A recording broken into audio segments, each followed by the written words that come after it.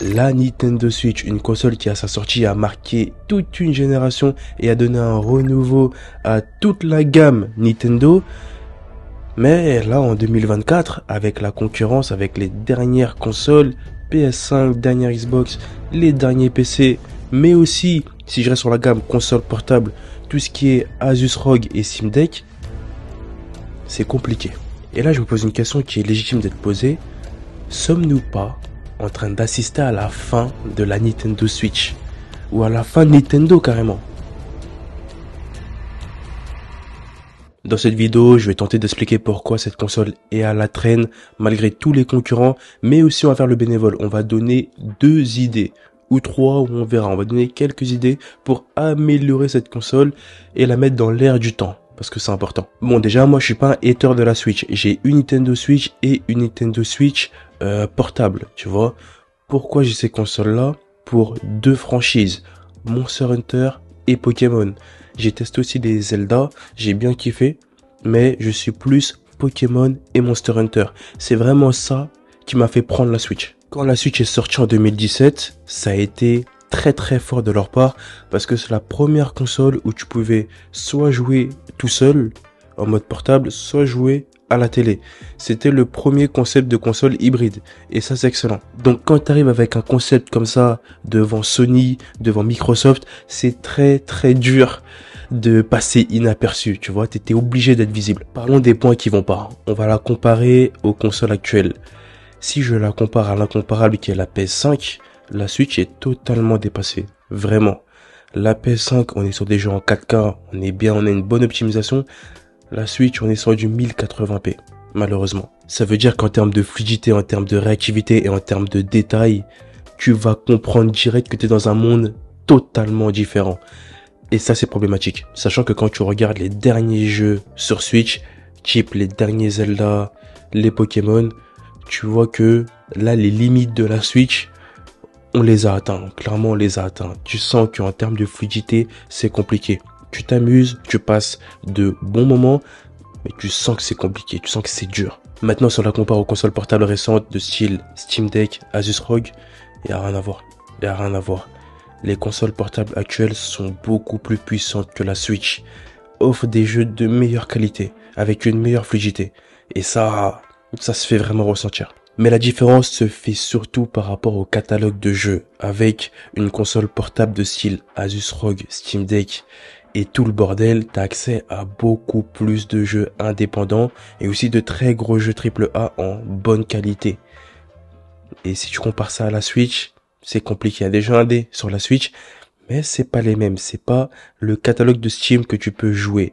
Et ça, ça fait la différence. Sachant que sur ces consoles portables, tu peux mettre des émulateurs et tuer tout le game, clairement. Restons sur les jeux avec la Switch. Je trouve que la Switch a un catalogue de jeux, que ce soit ancien ou récent, qui se repose beaucoup sur les remakes, beaucoup sur la nostalgie. À chaque fois, c'est ça toujours les mêmes Mario, toujours la même remake de Mario, toujours, toujours les mêmes Pokémon, toujours les mêmes remakes de Pokémon. Il y a des nouveaux, mais il y a beaucoup de remakes à chaque fois. Nintendo, c'est beaucoup, beaucoup de remakes. Et ça, on en a marre. En fait, j'ai l'impression que c'est vraiment une console pour les gens nostalgiques. C'est bien, hein c'est bien, ça fait du bien, mais au bout d'un moment, on veut des nouveautés on veut jouer à des jeux où on veut être perdu, on veut découvrir, on veut pas être dans nos zones de confort avec une qualité différente. On veut découvrir. Bien entendu, les remakes et la nostalgie se met en place aussi sur d'autres consoles. Je serais hypocrite de pas parler des Call of Duty et d'autres euh, licences qui ont été remasterisées, remakes et tout.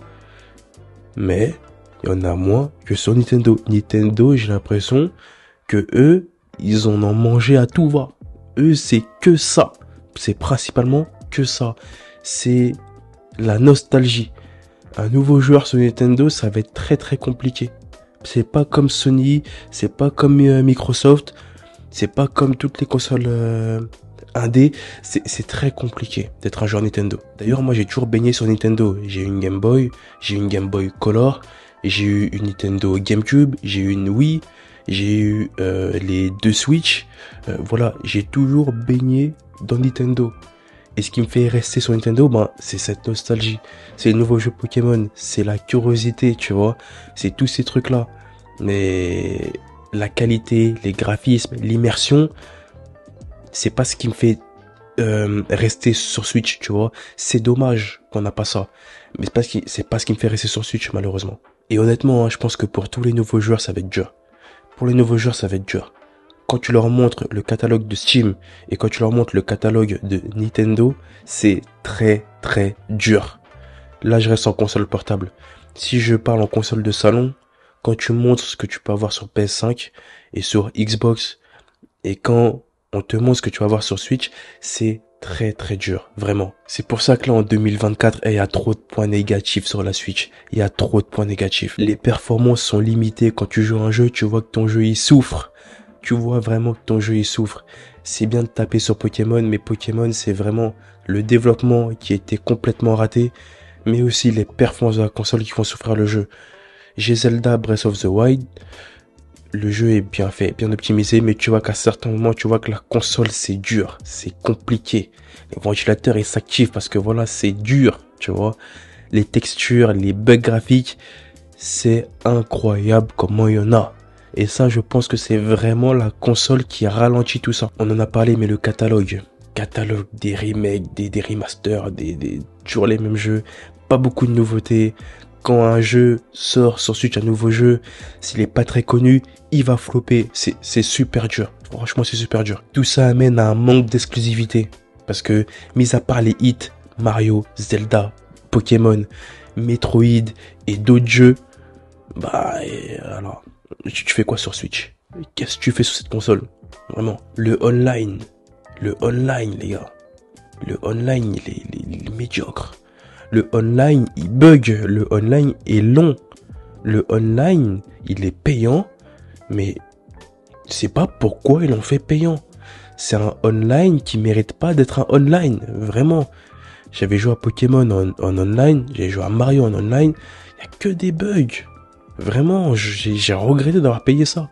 C'est trop. Comment sauver la Nintendo Switch? Alors là, ça va être compliqué parce que je vais parler de la Switch 2.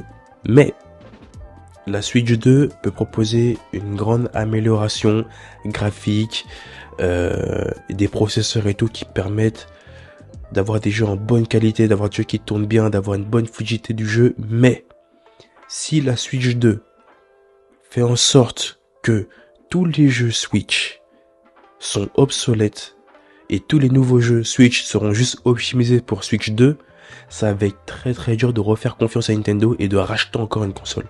Vraiment. Il faudra vraiment nous convaincre avec des vrais jeux pour qu'on vienne et qu'on achète la console. Parce que moi, pour moi, refaire une console, c'est ce qu'il faut faire, adapter à l'ère du temps, mais le plus dur, ça va être le Switch. On a fait confiance beaucoup de fois à Nintendo, il y a eu des flops, Wii U et tout, mais là, là, ça va être dur. Faudra vraiment venir avec des gros hits bien faits, bien réalisés, comme le dernier Pokémon qui prend beaucoup plus de temps à son développement et ça c'est bien. Mais les jeux qui ont intérêt à venir ont vraiment intérêt à être bien, clairement. Parce que t'as beau mettre un écran OLED, t'as beau améliorer la batterie, t'as beau améliorer des choses, nous on veut les performances, nous on veut bien jouer, on veut un bon online, on veut être tranquille, on veut un jeu qui tourne, on veut un jeu qui soit optimisé, bien créé, un jeu qui prend son temps d'être fait et qui tourne bien sur la console, c'est ce qu'on veut. Donc première solution, faire une Switch 2, même si que je pense que c'est en c'est en, en projet et cette Switch 2 euh, avoir des jeux qui tournent super bien dessus, qu'on n'ait rien à dire. Deuxième solution, se concentrer sur des nouveaux jeux indépendants et innovants. Faut arrêter de se reposer sur des remakes, sur des remasters, sur toujours les mêmes licences. Les hits, ça fait tourner une console, c'est bien, mais faites des collaborations avec des nouveaux studios, des jeux indépendants, allez sur Steam, regardez ce qui sont un peu sur Steam, les bons jeux, faites des collabs, faites des trucs cool. Mettez beaucoup plus de licences, de licences innovantes, de licences, je sais pas, des jeux de survie, des jeux cool et des jeux un peu plus matures. Je sais que Switch a cette image de jeu enfantin et tout, mais mettez des vraies licences. Mettez des vraies licences. Si vous pouvez mettre un Zelda, vous pouvez mettre beaucoup de jeux. Vous pouvez mettre un Metroid, vous pouvez mettre beaucoup de jeux. Vous pouvez sortir de cet euh, esprit enfantin et mettre des vraies licences indépendantes où on s'amuse, où on n'est pas bloqué avec un Mario, un Zelda, un Pokémon et un remake de tout ça à chaque fois. Et encore une fois, j'aime bien cette console. J'ai bien aimé Animal Crossing, le jeu du Covid. J'ai bien aimé Monster Hunter. J'ai allumé ce jeu, même si que c'est un jeu, encore une fois, basé sur des remakes, basé sur tout ça. J'ai bien aimé Pokémon, malgré son, ses lacunes graphiques et tout, je passe un bon moment. J'ai bien aimé Zelda. J'ai bien aimé être sur Switch. Mais, je veux plus je veux mieux, tu vois. En fait, je veux pas qu'il y ait ce gros contraste que quand j'allume ma Play et quand je suis sur Switch, tu vois. Je veux me dire, vas-y, la Play est mieux, mais ça se vaut, tu vois. Non, là, je me dis, j'ai l'impression que je quitte une antiquité pour aller vers la modernité, tu vois. Et je veux que cette barrière-là soit moins grande, vraiment.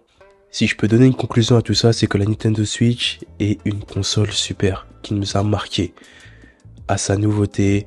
Tu joues sur euh, ton écran, tu joues euh, en mode portable, tu joues sur la télé, tu joues partout. Ça nous a marqué. C'était innovant. Les jeux qui sont sortis étaient bien, étaient cool, étaient qualitatifs, on va le dire. C'était qualitatif. Mais la console ne suit pas tout le temps. Malheureusement, la console ne suit pas tout le temps quand tu auras toutes les consoles actuelles, quand tu auras les consoles récentes, c'est très très dur. C'est très très dur. Et là, ça va peut-être être dur ce que je vais dire, mais si on arrive à Noël et que tu vas acheter une Switch, que ce soit pour euh, un enfant, pour une personne, en cadeau et tout, si je devais le faire, je pense pas que je le ferais. J'achèterais plus euh, une Asus ROG, plus euh, une Steam Deck ou une console similaire avec beaucoup plus de jeux, un catalogue beaucoup plus grand Nintendo Switch qui est en, enfin qui est pas en avance avec son temps, qui est en retard avec son temps et qui est obsolète actuellement, clairement. Merci de m'avoir écouté. En tout cas, c'est tout pour ce sujet. Merci de m'avoir écouté. Si tu as des vidéos où on parle de console, on parle de concept, on parle de projet, on parle de jeu, dis-le moi dans les commentaires. C'est très important. J'ai hâte que Call of Sword pour faire mes premières vidéos gaming avec du gameplay et tout. C'est vraiment un défi que je me lance. Mais on va continuer les vidéos de muscu. Ok, t'inquiète pas. En plus, j'ai ma deuxième chaîne secondaire, Dame Jordan Training, où est là, il y a que des séances. Ok? En tout cas, mets ton petit j'aime, mets ton petit commentaire, abonne-toi à la chaîne si c'est pas fait. Et moi, je te dis, porte-toi bien et à la prochaine pour la suite.